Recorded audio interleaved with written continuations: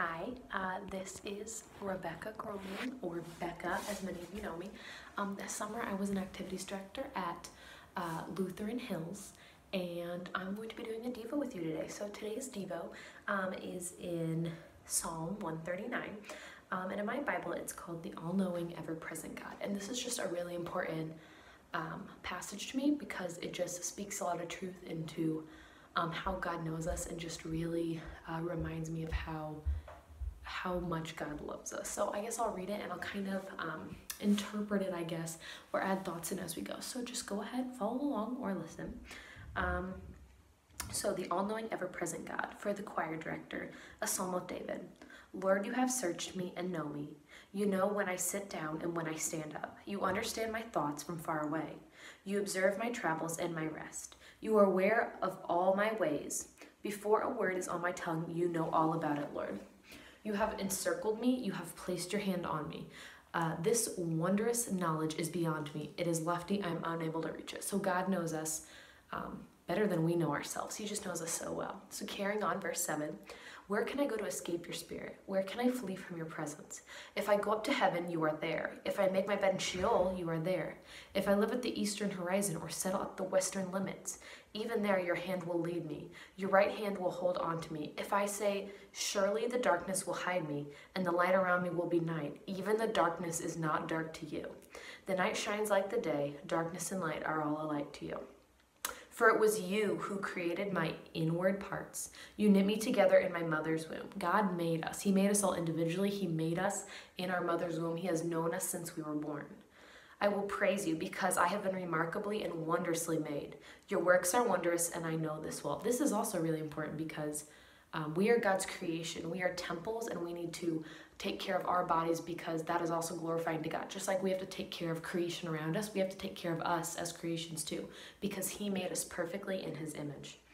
Um, your works are wondrous, and this very, and I know this very well. My bones were not hidden from you when I was made in secret, when I was formed in the depths of the earth. Your eyes saw me when I was formless. All my days were written in your book and planned before a single one of them began. He knows our entire future.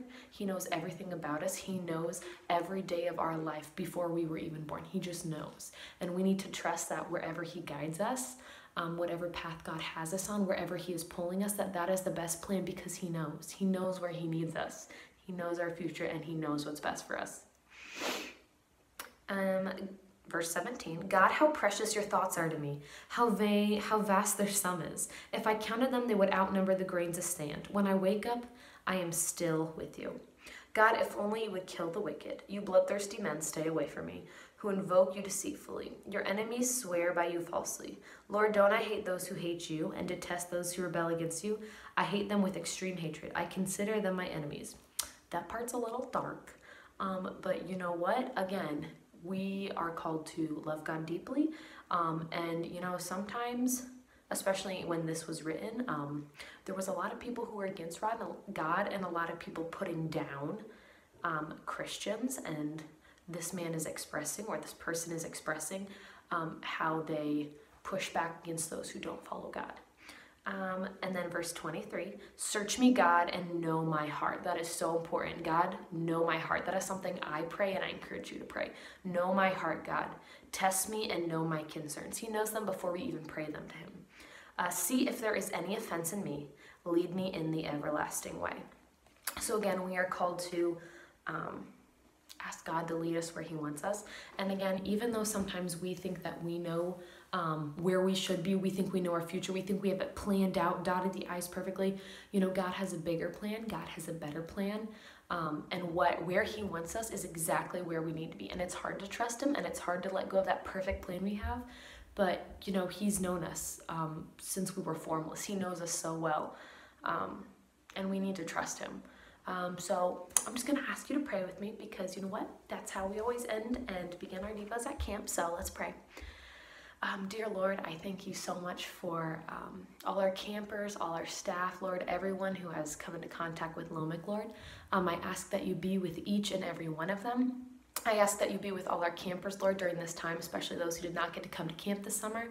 Um, Lord, continue to lead them on the path that you want them on. And even though this may have been a hard year for a lot of them, I ask that you gra- grant them the strength they need. Um, help them to see the path that you have laid out for them. Um, help them to listen with open ears to where you are calling them, Lord. Um, and in their trials and in whatever the world may throw at them, Lord, help them to see that you are there in the darkness whenever they even maybe hide from you at times. Um, Lord, help them to see that you are there and you will never let go of them, Lord. Um, thank you again for Lomik and just thank you for the opportunity we have to um, worship you freely, Lord. Um, all these things we lift up to you um, and just thank you. Amen. Thank you.